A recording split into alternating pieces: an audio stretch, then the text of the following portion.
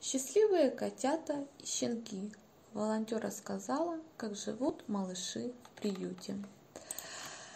Эм, с точки зрения животных, сегодня у нас очень позитивный пост. Разговор пойдет не только о собачках, но и о котиках, о которых заботится волонтер Марина Абельдяева, хозяйка домашнего мини-приюта собаки Симашка. Вот так э, выглядит добавление к уже и без того немалой катабанде женщины. И все же личности они все с именами. Тишка, полгода, прибился от соседей. Кузьма появился во дворе неизвестно откуда. Пив, Пав, Лиська – это три разных имени. Мурчалки, подбиралки, светклиники. И еще трое прячутся от собак на чердовике. Все привиты.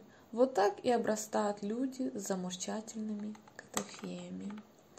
Около 20 хвостов, и это только котики. Вы только задумайтесь над этой цифрой.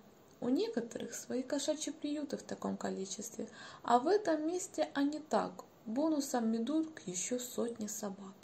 Марина Абельдяева очень любит всех животных, но это уже много. Да и опасно котикам, таким маленьким собаками быть рядом. Думаю, не мне вам про это все рассказывать.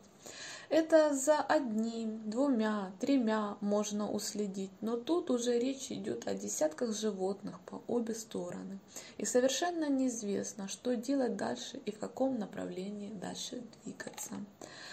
А теперь э, о главном, приют все-таки для собачек. Мы растем. Нашим щенам уже 4 месяца. Взвесились. Тучка 8 килограмм 700 грамм. Гром 9 килограмм 200 грамм. Потапыч 9 килограмм 600 грамм. Будем большими и толстыми.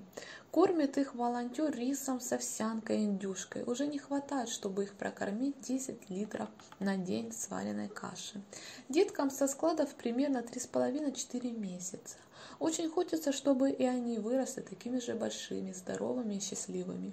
Сейчас в них не более 3 килограмм, но были бы кости, как говорится.